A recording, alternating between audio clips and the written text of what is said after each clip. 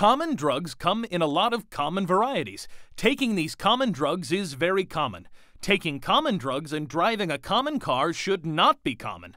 Why? Because common drugs come with common labels, and common labels warn you about the common side effects, and common side effects can affect the common driver. Common drivers shouldn't take common drugs if it delays their common reaction time. Even a common split second could put you in common danger.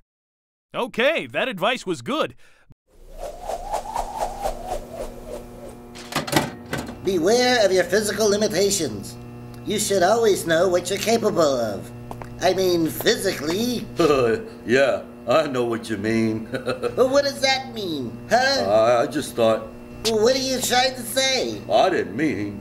I was talking about being sick. Oh, uh, I'm sorry. Oh, just be quiet and listen.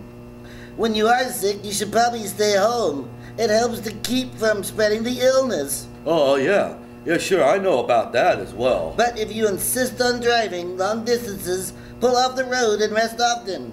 Get lots of rest. Increase your safe space when sick while driving in your car and maybe even around others as well. Just know your physical limitations and take care of yourself.